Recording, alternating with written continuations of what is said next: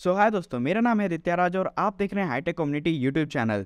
दोस्तों, अगर आप लोग भी दोस्तों एडोप की तरफ़ से जो ए आई एनहेंसर है, उसको अगर आप यूज़ करते हो अपने ऑडियो वगैरह को यहाँ पे एनहेंस करने के लिए तो वहाँ पे काफ़ी सारे लोगों का दिक्कत ये आ रहा है कि उनकी जो ऑडियो है गैस वो वहाँ पे अपलोड नहीं हो रही है। अब दोस्तों, आज की इस वीडियो में आपको बताने वालों कि किस तरह से आप वहाँ पर इस प्रॉब्लम को फिक्स कर सकते हो, कैसे आप अपनी जो ऑडियो उसको वहाँ पर अपलोड कर सकते हो। तो बिना ज़्यादा टाइम वेस्ट ना करते हुए चलिए दोस्तों, हम बढ़ते अपने मोबाइल के स्क्रीन की तरफ़। तो यहाँ पे जैसे कि आप देख पा रहे हो, अभी मैं आ चुका हूँ अपने मोबाइल के स्क्रीन पे। तो सबसे पहले दोस्तों, आपको अपना जो ब्राउज़र है, उसको ओपन कर लेना है। उसके बाद दोस्तों, यहाँ पे आपको सर्च कर लेना है एडोब ऑडियो एनहेंसर तो यहाँ पे हम एडोब ऑडियो एनहेंसर सर्च करने के बाद इसकी जो वेबसाइट है गैस वो यहाँ पे हम सिंपली कर लेते हैं ओपन ठीक है?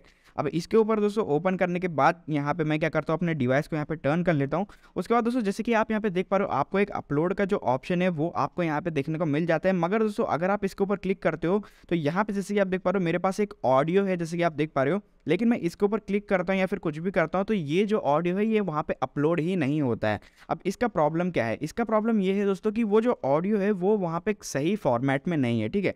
तो सबसे पहले आपको करना क्या है इस प्रॉब्लम को फिक्स करने के लिए, आपको दोस्तों जहाँ कहीं भी आपका जो ऑडियो है, वो पड़ा हुआ है, आपको उसको ओपन कर लेना है। आप जैसे कि आप देख पा रहे हो दोस्तों, ये रहा मेरा ऑडियो।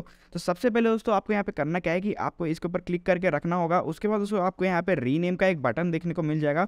आपको दोस्तों इसके ऊपर क्लिक कर देना है। उसके बाद दोस्तों यहाँ पे जैसे कि आप देख पा रहे हो लास्ट में लिखा हुआ है एम फोर ए ठीक है? दोस्तों, यहाँ पे आपको एम फोर ए को हटा के आपको यहाँ पे लिख देना है एम पी थ्री ठीक है? तो यहाँ पे हम लिख देते एम पी थ्री और जैसे कि आप देख पा रहे हो एम पी थ्री हमने लिख दिया, और दोस्तों डॉट को आपको नहीं हटाना है, ठीक है? उसके बाद दोस्तों, यहाँ पे हम की यूज़ एम पी थ्री के ऊपर हम यहाँ पे सिंपली क्लिक कर देंगे।